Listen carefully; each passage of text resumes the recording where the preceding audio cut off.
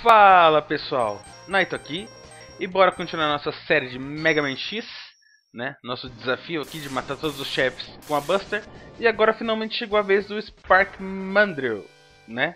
É, essa fase aqui ela foi alterada quando eu passei o Storm Eagle, tá? Então ela é tipo uma usina elétrica que agora vai estar tá tudo em, aos pedaços, né? Vai estar tá tudo danificado. Se você vier aqui sem passar o Storm Eagle, aí vai ter umas é, eletricidade correndo no chão. Ela fica um pouquinho mais difícil, mas nada muito complicado também. E fica mais bonita também. E não fica com esse é, essa falta de luz, né? Se acende e apaga das luzes.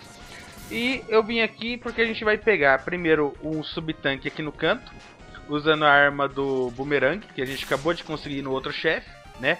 Esse subtanque só dá pra conseguir assim, tá? Não tem passagem, não tem como bugar ali, é só pegando com essa arma mesmo. Por isso que eu fui na torre de vigia lá, que eu nunca acerto o nome daquele chefe, o, o Boomer Kawarang, alguma coisa assim. E depois eu deixei essa daqui e vou deixar a do Armadillo, que é a próxima, né, que é da mina. É, eu vou deixar ela por último, porque ela tem um segredo muito especial que eu, eu vou deixar para fazer um episódio, justamente um episódio um pouco maior, mostrando esse segredo, tá? Ó, a gente agora não tem eletricidade no chão ali naquele, naquela primeira parte, né? Mas em compensação, essa parte aqui ela fica bem mais difícil, porque vai ficar apagando a luz bem na hora que você tem que pular nos os buracos, né? E vem esses inimigos é, que eles dão uma iluminada, mas eles vêm para te atacar. Então tem que meio que na sorte. Eu sempre gosto de pular e dar um tiro. Às vezes eu acerto, como eu fiz agora, ou não, né? É um pouco de sorte também. Mas é. fica emocionante. É, é, é legal você ver essa, essa mudança, né? Mega Man X é, era pra Super Nintendo tal, era pra é, um console limitado, né? E foi o primeiro ainda da, da série. Mas você viu que os caras trabalharam o, o, negócio assim de uma forma bem criativa, né? Até mesmo as fases, você passa um chefe, altera a fase. Infelizmente é só o Mega Man X, né? Depois X2, X3, eles tiraram isso. Aqui o subchefe. O subchefe sempre eu gosto de usar a arma do Storm Eagle. Já foi, ó, morreu. Esse subchefe também. Se ele tiver. Se a gente tiver. Não tiver passado o Storm Eagle, é, que a usina vai estar funcionando a pleno vapor. É, ele vai. A hora que aquele negócio que ele só dava um, um peidinho ali, né? Na verdade ele solta um raio, tá? Pra baixo.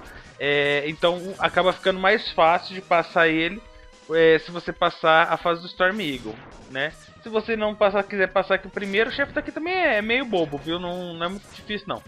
A fraqueza dele é, é a arma do tio Penguin, né? Que é o a arma de gelo, a Ice Shotgun. Então não, não é tão difícil não. Mas vamos lá. E a gente vai pegar o subtanque aqui. O subtanque não, o subtanque a gente já pegou. É, a gente vai pegar o Heart Tank, tá chegando aqui na parte dele. É, dá pra pegar de duas formas. Ou usando o boomerang também, tá? Mas caso você não tenha passado o Boomer Kawarang, né, ó, tá vendo? Tá aqui, ó. Você pode fazer isso aqui, ó. Dá um dash, um pulo e pegou. Fácil, né? Você pode usar o Boomerang se você não acertar, tá? É um pouco mais chatinho, às vezes demora um pouco para acertar ali. O Boomerang ele é meio aleatório, às vezes ele sai para cima, às vezes sai para baixo. É... Mas você pode usar ele ou faz isso, né? Dá, dá um dash, isso aí é só treinar, tá, gente? Apertar o dash e o pulo ao mesmo tempo e, e ter o reflexo de ir pra frente e pra trás rapidinho, né? Isso é, é treino com, com, com, conforme você joga Mega Man. É, eu sou viciado em Mega Man, cara. Eu, eu falo pra você, eu joguei a franquia inteira. E. É, e hoje eu vi, né?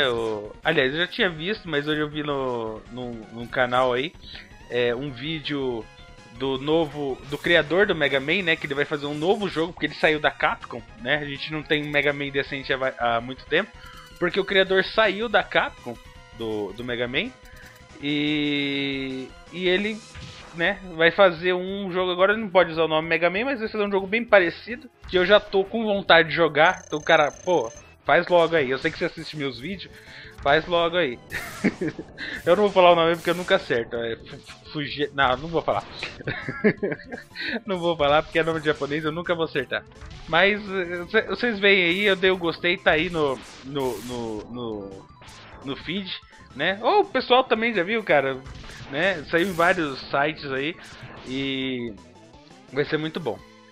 Ai, ai. como eu disse, o chefe aqui é bobão, né? É só você, ó, ele pulou pra cima, você vem, dá o tiro. Só quando ele começa a pelar nesse soco assim, mas aí você vai na parede e ele já volta a pular. Não tem muito, muito mistério. Se você usar esse shotgun, nossa, é mais fácil ainda. E já era. Falou. O macaco que solta raios rosa. Hum, é você, MG? Mas é isso aí, né, gente? Mais um chefe passado. Ah, não esquece daquele gostei se você gostou.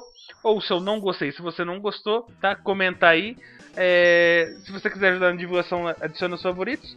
Link do, das redes sociais, Twitter, Facebook, tá na, na, descrição.